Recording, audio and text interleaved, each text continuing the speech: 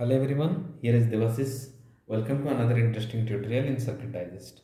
So in this tutorial, we are going to learn about a very interesting project which is based on how to use Ajax in web servers, IoT web servers so that we can dynamically change our sensor data or any uh, a partial part of web page without uh, reloading the complete web page. Um, that means basically when uh, we are displaying any data over the web page, we simply have to reload the web page to see the updated value in the page in that particular page.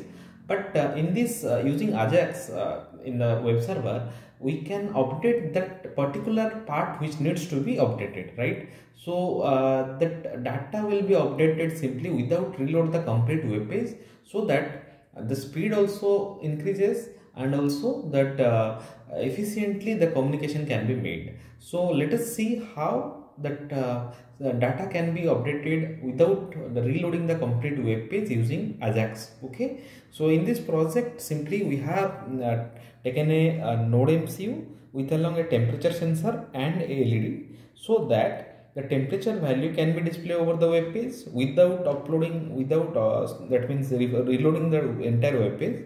And in the web page itself we have two buttons so that, that from that button we can control uh, the load. That means LED okay? So let us see the demonstration of this project.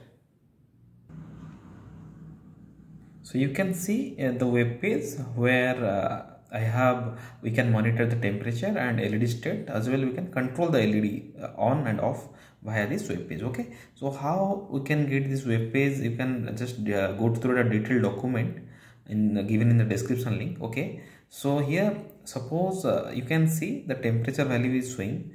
And if I am changing the temperature over the sensor okay by some external means you can see the value is updated but I don't have to update that particular web page right?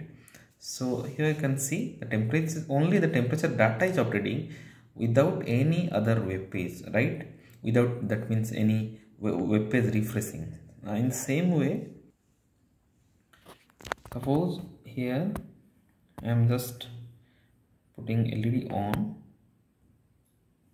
So you can see the LED is on okay? Suppose here I am giving LED off. You can see it is off. That means here it, the data is dynamically changing without refreshing the web page okay? That is possible due to the ajax okay? Uh, so in normal http request uh, it cannot be possible. Uh, we should we have to refresh that uh, web page but in using ajax uh, it is possible. Without uh, updating the uh, refreshing the whole web page we can update single data with single part of that web page okay? So hope you have uh, enjoyed this tutorial. For the complete tutorial please refer the link in the description box. Thank you so much